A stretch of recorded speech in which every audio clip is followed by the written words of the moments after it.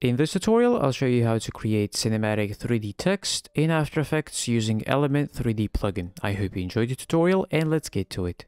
First, I'll create a new composition, name it render.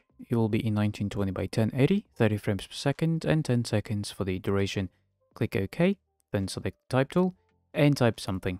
I'll do creative, for example, with a dot at the end. And for the font, I'm using Montserrat Bold.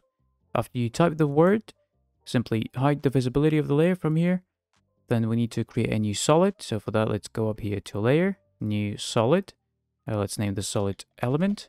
Click OK, then open effects and presets window, search for element, and add the element effect to the element solid layer. Then head over to the effect controls. The first thing you want to do is open custom layers drop down, custom text and masks, and for the path layer 1, set it to whatever word you've typed in, so creative in my case. Then let's collapse that and let's open the scene setup by clicking the button. Once the Element 3D interface shows up, the first thing you want to do is click this extrude button and then you should see your text.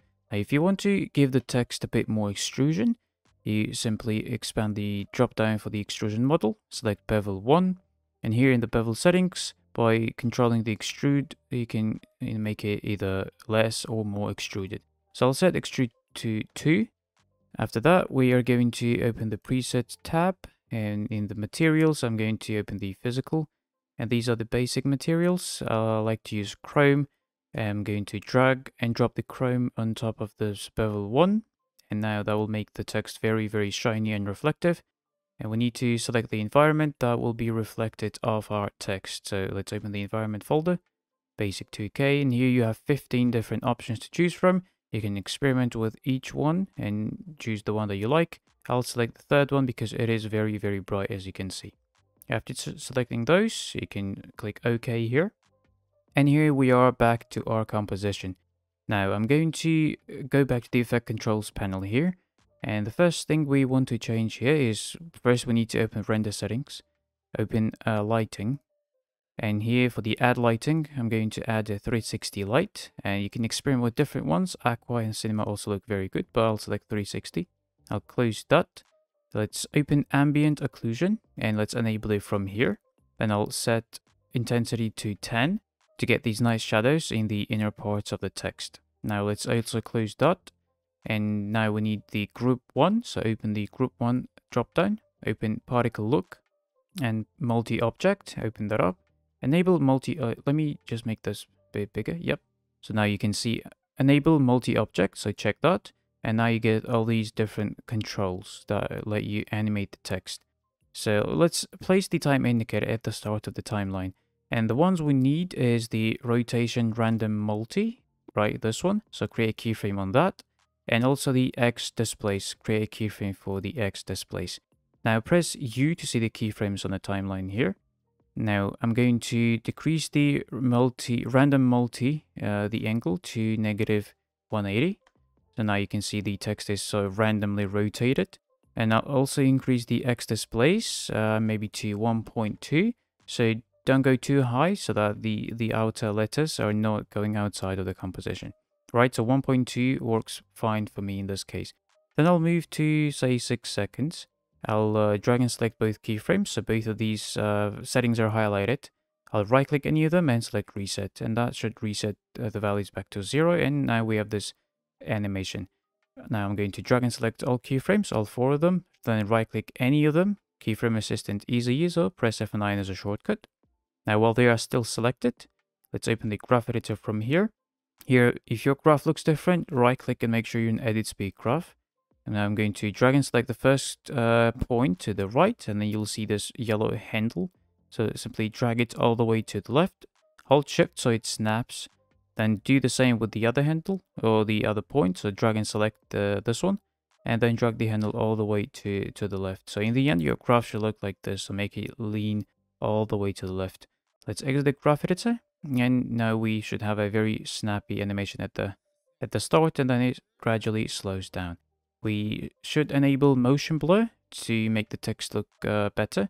So you, if you don't see this column right here, uh, click toggle switches and modes until you do and enable motion blur for the element. Now you, we should have nice motion blur at the start. At this point, we can start adding, uh, you know, extra backgrounds and extra particles. So first, let's uh, create a fog or like cloud background. So for that, we need a new solid layer. So layer, new, solid. I'll simply name it fog, then click OK. Then I'll search for fractal noise in effects and presets. Add fractal noise to the fog layer. Now in effect controls, we're going to set contrast to 200, then brightness to negative 50. I'm going to set complexity to 10. Then I'll open transform and set scale to 300 to make the noise bigger. Now let's move the time indicator at the start of the timeline and create keyframe for offset turbulence and evolution. Then let's go to the end of the timeline. I'm going to decrease the Y value for the offset turbulence so the noise goes, you know, moves up. So maybe something like that. And for the evolution, I'll set this to two cycles. And now we should have this animated uh, fractal noise throughout the composition.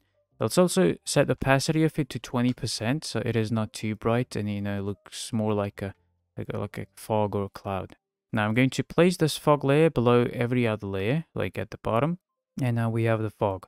So let's open the project panel now. And uh, here I'll include the particles layer in the project file. I'll also leave the link where you can directly download this from pixabay.com. So once you get this, simply drag and drop it above the fog, but below all other layers. So like that. Now we need to bring up the mode column. Let's click toggle switches and modes until we see the modes column and set the particles mode to screen so we can see the fog underneath it. Now I'm going to press T to bring up particles opacity and set the opacity to 50% so they're not too bright.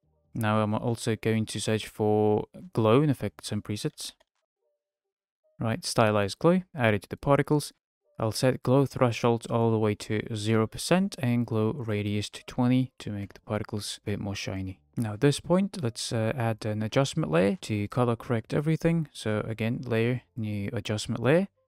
Then open effects and presets and search for curves and add curves to the adjustment layer.